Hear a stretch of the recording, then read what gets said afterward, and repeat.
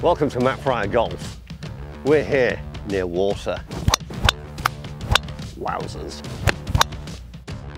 If this one goes in, the dream could be alive, folks. The dream could be alive. I've been saying all week, I'm feeling hole in one. This is the hole to do on. Could be the greatest finish in YouTube history. You find us in the trees. Please be the right yardage. Please be. We find ourselves back in the trees. The challenge is simple. You get 30 shots to get round nine holes of a golf course.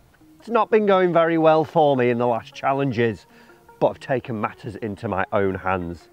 I have a cheat golf ball today. A golf ball that is not legal. We are going to be illegally taking on the 30 shot challenge to see if the polar golf ball, the ultra straight golf ball, can help us get it done. So we've come down to the glorious Woodhall Spa Golf Resort, which is down on the east coast of England. It's home to the hardest golf course in England, which is the Hotchkin, which we haven't in the red from if you haven't seen that yet. Make sure you check that one out. But this is the Bracken course. This is a little bit tamer. It's a par 36, the front nine. It's 3,040 yards long. So not the longest golf course. A lot of the par fours are around about 370 yards, par fives under that 500 mark or thereabouts, and the par threes um, around about 150. So it's a little bit more generous. So hopefully we can try and get further than we have been doing of late. I think my last attempt, if you've not seen it, we played with Marco Penge, who qualified for the Open. He has the reigning scores twice now He's had a putt for 31 on the ninth green, which is just unbelievable. I think I bowed out on the seventh hole that, uh, that game. My best thus far is completing eight holes, but today we've got an illegal golf ball. We're cheating using this. Hopefully, nine holes. We're going to probably get to the 13th. 13th! My realistic prediction is that I actually do tee off on nine today.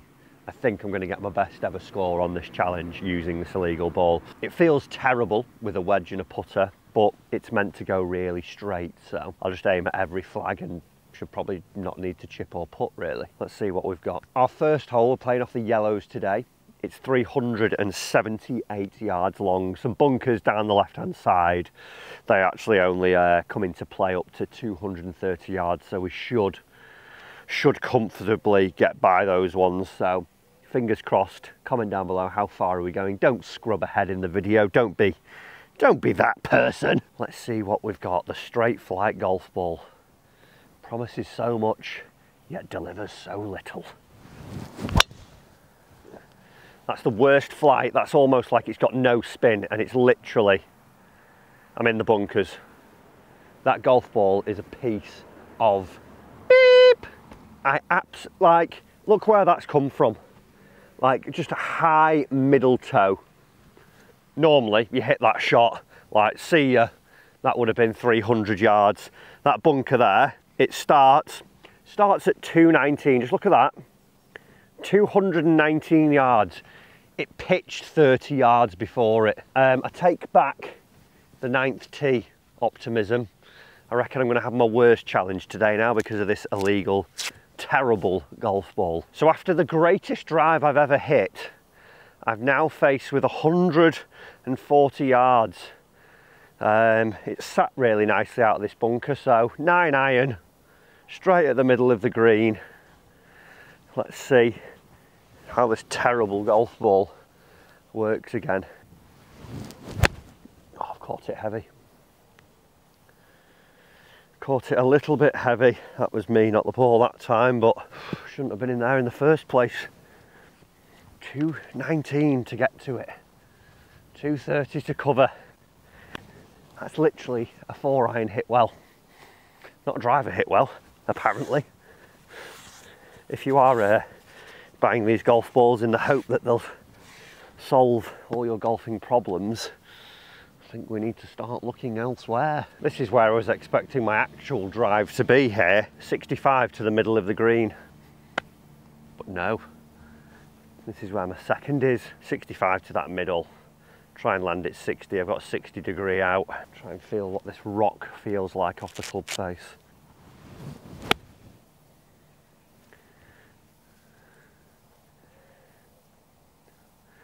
Not a bad pitch. Go straight when you pitch it with a 60 degree, but if you're slicing a 60 degree wedge, you've probably got a few issues. Not bad, I aimed straight at the flag, so it's obviously broken this ball. It's pitch two yards right, left to right in it. This for a four. Take us to 26 shots on the next tee would be nice. Would be very nice. Wonder if it makes every putt straight. Straightens out your putts, they don't break now, so you just aim straight at the hole. Think we'll allow for a tiny bit of break. Oh, I've not hit it hard enough. That's annoying.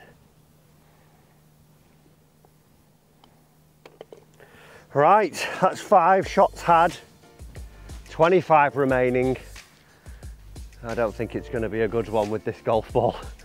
I had so much hope, but that first tee shot filled me with fear. So these golf balls, the Polara golf balls, I bought these from Amazon.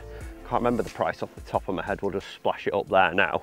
They're quite expensive for what they are, and basically what they say is because of their unique dimple structure, the drag throughout the air will limit or minimize the curvature, so you should hit it straight. So because of this, it isn't legal to use with the R&A or USGA competitions. So, you know, if you're playing in your local comp on a Saturday, your club comp, you couldn't use one of these golf balls. I have done a review on them a couple of years ago, I think it was, and probably you will have seen Rick Shiels' review. Um, they're they're not fantastic. They don't straighten it out, everyone. They do generally go a little bit straighter, but you lose a lot of your other performance aspects with this golf ball. That being said, we're on a 390 yard par four, so if I hit a good one, I should, you know, theoretically have about 90 yards in. We wait and see. It's a tight looking one, this one. No bunkers down there, it's just a narrow fairway. Nothing the polar Polara can't handle. It's literally peak of its flight and dove. That's why they go so straight. They fall out the sky. It's literally carried like 220 again. I mean, it has split the middle of the fairway, but so much distance has been lost there. I mean, look at that. You ain't getting more central than that, Jeff. I tell you, you're not. My predictions of having only 90 yards in jokes. I've got 140 yards to the middle. I think it pitched about 60 back here and ran even though the ground's you know a little bit wet from the downpour last night. Just literally gives it this as a flight. um, one, three, eight. I'm gonna go nine iron with the Polara. Theoretically, I can aim dead straight at this flag and it should go in as long as I get the right distance.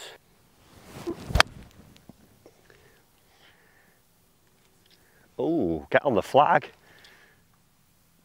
Oh, as you do, it's gone 170 yards. We've airmailed the green. Goes further with a nine iron than it does with a driver. Got a flyer from the, uh, you know, from the nice fairway. Great golf ball.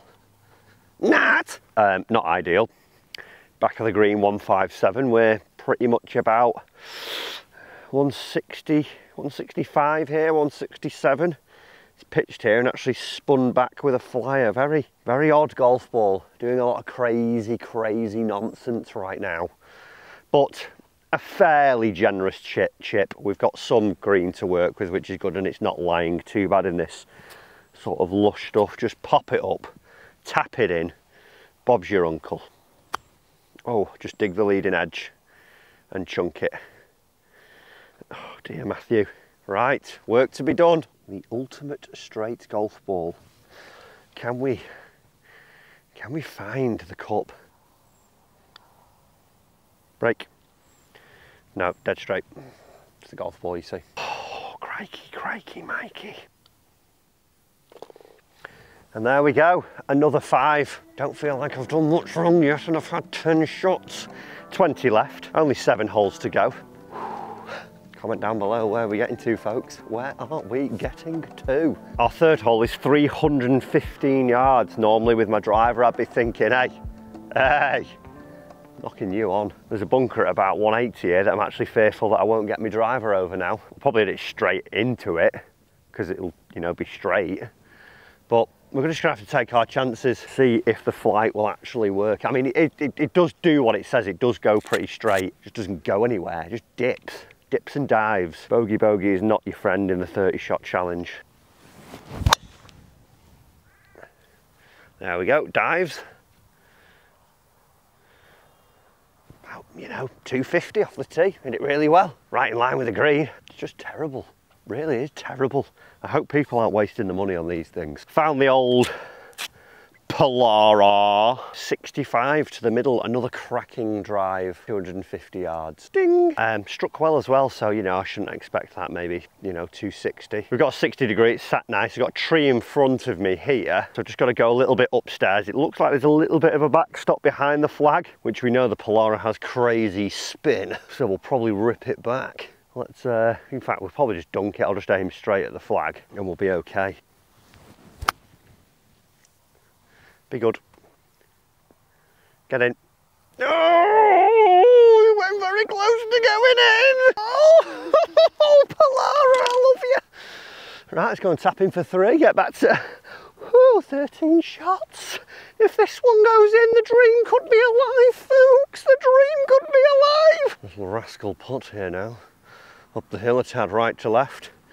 Looked like it was very close. It sort of came in here, that, and oh, just gave it a little didn't get the final one though on the hole. Right, up the hill, right to left, one ball outside, firm. Polara, you can redeem yourself. Redeem yourself, Polara. This will be a double hander on aim point. You are taking the absolute squirrel out of me.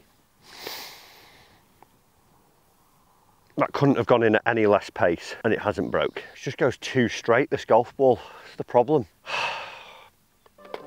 Four shots had, 14 in total. 16 to go, we move on to the fourth. Feel like that could be the one that bites me, not the bogey bogey start, that one. Our fourth hole here on the Bracken is 493 yards of par five. A gentle, gentle little dogleg right to left some bunkers down the left hand side that we're going to try and avoid. If I aim straight down the middle, I'll hit it there, Polara, straight ball. Guaranteed 230 yards of distance off the tee. We could really do with an eagle here, or worst birdie, because if I'm to complete this, I need to be six under. Currently two over. Not the score we want, folks. But don't worry, Polara is here to save the day or ruin your golfing expectations. There's the dip.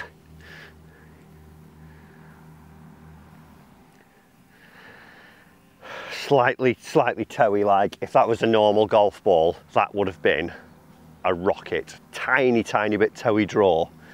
I mean, that's like 300, no issues. Just covered 220 there. Well, this is a treat of a hole. It's sort of a, I thought the green was pretty much straight in front of us, but it's tucked away around the corner of the trees. I've got 210 yards from where we are. So that drive's not gone very, very far, some would say. About 260.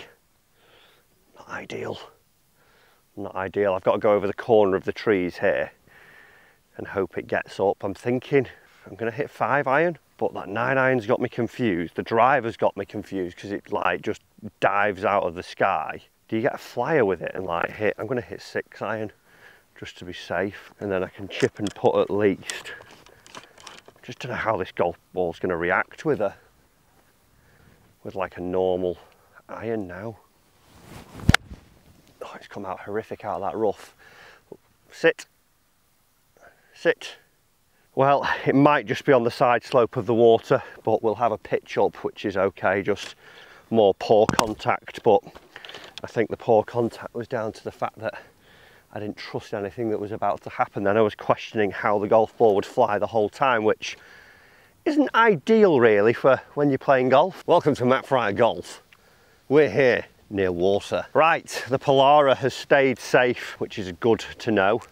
We've got 30 yards up to the front, up onto a raised green. Fly it all the way. They are a little bit softer today, so we can get it stopping pretty quickly. Really could do with an up and down here really could do with an up and down.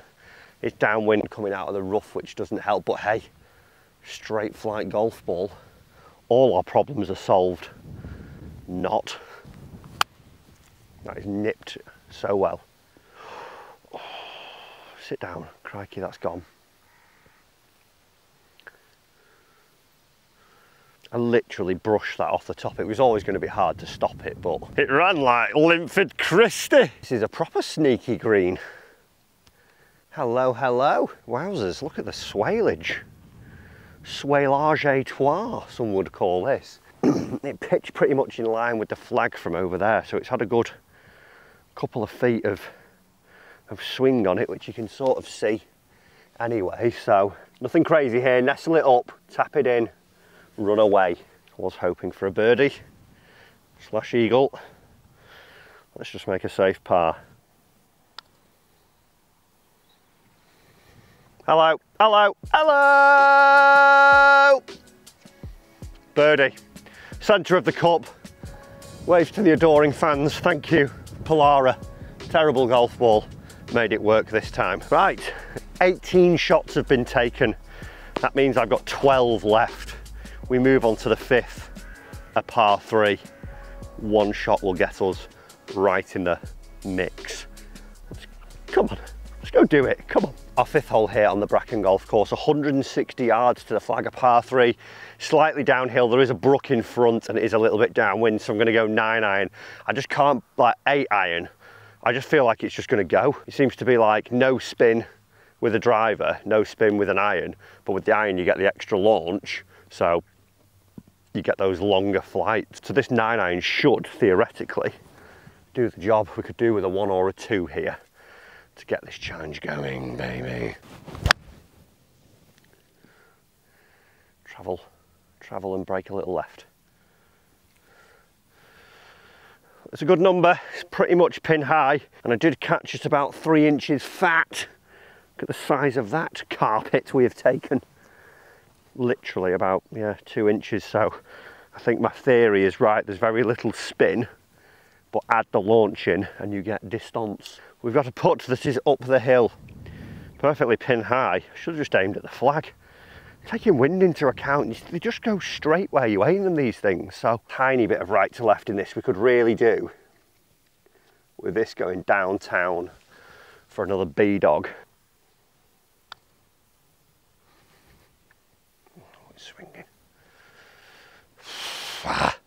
three's just not going to cut it, Matthew. A three's just not going to cut it. 21 strokes have been had.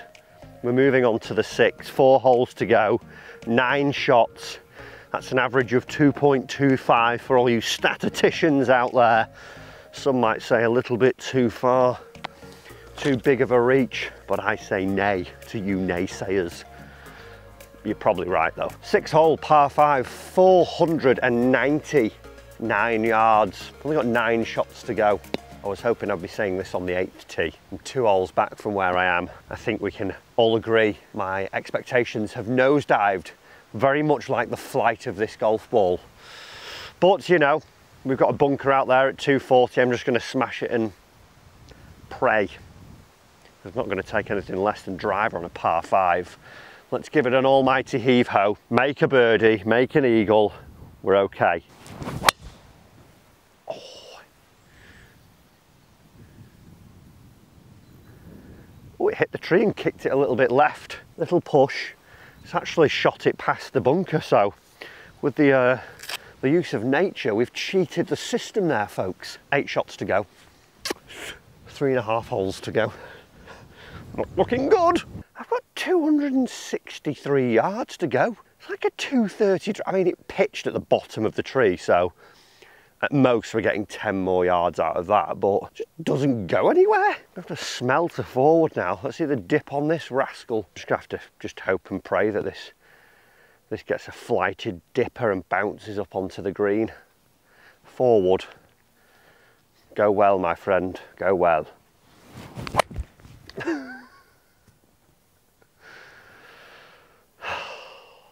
little bit heavy that one chaps. I've tried to hit that so hard because i'm like that far back and i need to get up onto the green. Just goes nowhere that thing.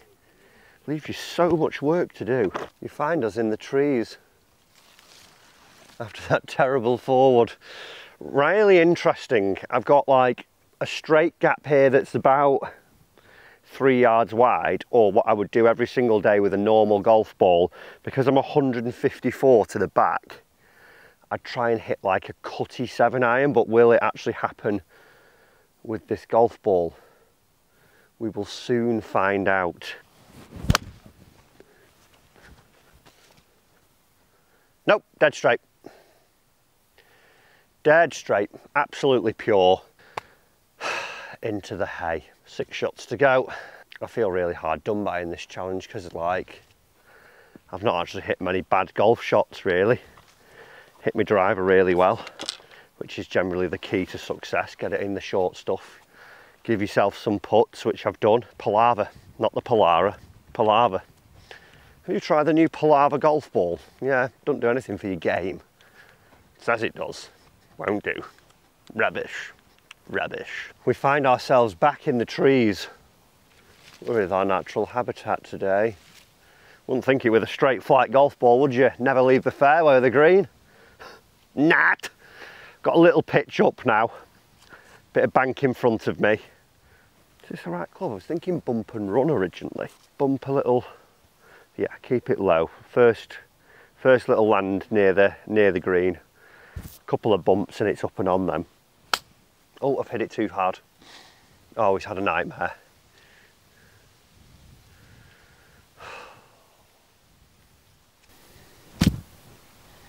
Tree's trying to have me off there.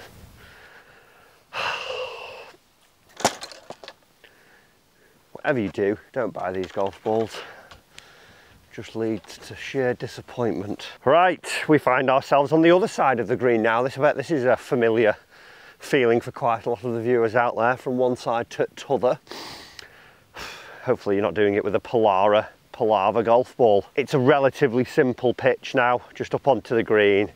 Wind's pushing it towards the hole. Let's just go chipping. Nice one of them, chip it in.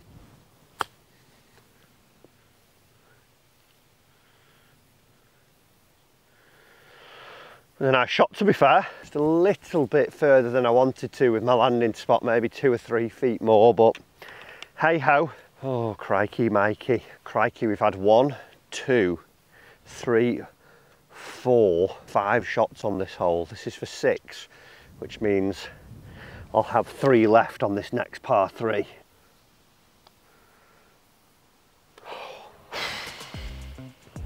A deflating six, I mean the fat four wood might have something to do with it, but I'm hanging all the blame on the Polara golf ball.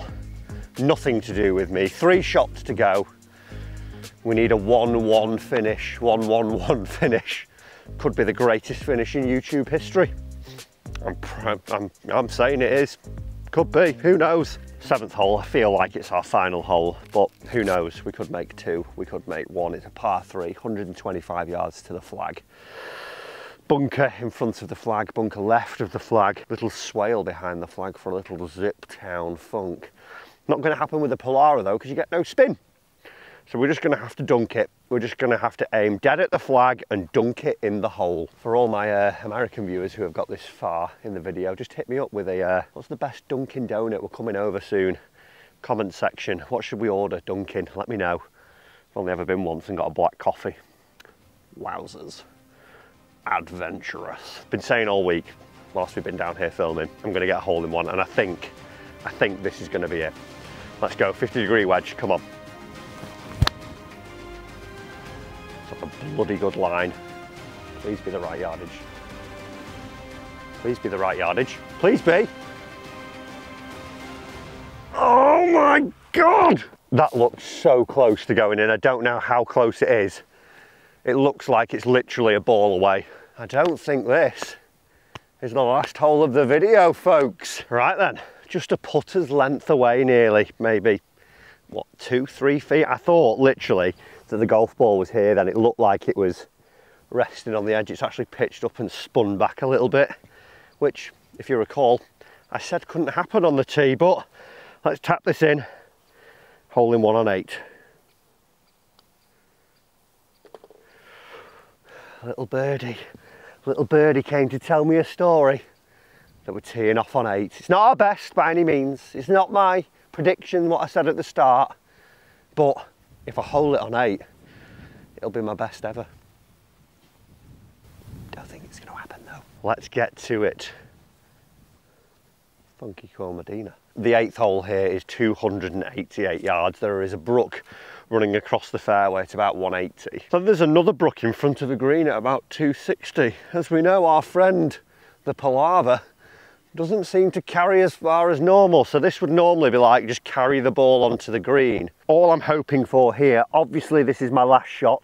I need to just bounce it, I think, up on, which I don't think we're gonna have much chance of, but we'll just wail on one. Maybe we get enough launch. I'll peg it that tiny bit higher. Might give it a little bit more. Peg it a bit higher. Get it up a little bit higher. We might just get the Palava to do some magic. Nope, dipped. So, I mean, it's a great drive. It's 240 down the middle, another fairway here. But with that speed and that connection, I would have been expecting, you know, maybe to carry the green. Ladies and gentlemen, that was the 30 shot challenge with an illegal golf ball. Hope you enjoyed it. See you in another video very soon.